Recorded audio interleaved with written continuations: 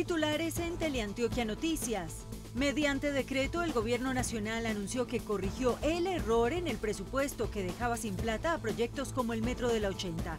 Así se subsanaría el faltante de 13 billones. La calificadora de riesgo Fitch alertó a Colombia sobre la falta de claridad del destino final de los 13 billones en el presupuesto de 2024. El incumplimiento en las obras subiría la percepción de riesgo del país. El gobernador de Antioquia le respondió al presidente Gustavo Petro sobre su percepción de las 4G.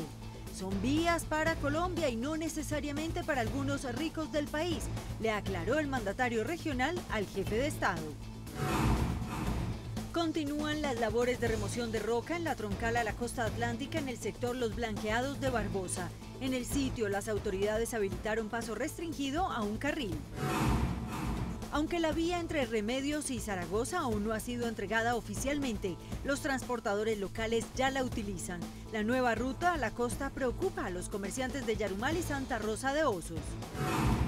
Hoy, en desarrollo de un Consejo de Seguridad, el ministro de Defensa llamó a las fuerzas militares a combatir a los grupos ilegales que provocan desplazamiento en el nordeste antioqueño y sur de Bolívar.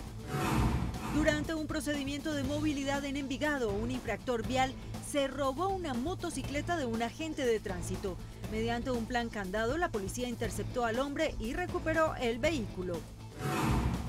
EPM aclaró que el cobro por consumo excesivo de agua por el fenómeno del niño no aplica para todos los usuarios. La resolución solo rige por ahora en algunos sectores del Valle de Aburrá. Con diversas acciones, la alcaldía de Medellín busca proteger a los cerros tutelares de la ciudad de daños e incendios derivados por cuenta de la ola de calor. Escarabajos al acecho. Daniel Felipe Martínez festejó en la etapa 2 de la Vuelta al Garbe. El colombiano venció al siempre favorito Renko Benepoel y se vistió de líder. Con José Tito Hernández y Alexander Gil a la cabeza, el equipo continental Orgullo Paisa presentó su nómina para la temporada 2024. Sin Dorlan Pavón entre los convocados, Atlético Nacional visita a Deportivo Cali en busca de una nueva victoria en Liga.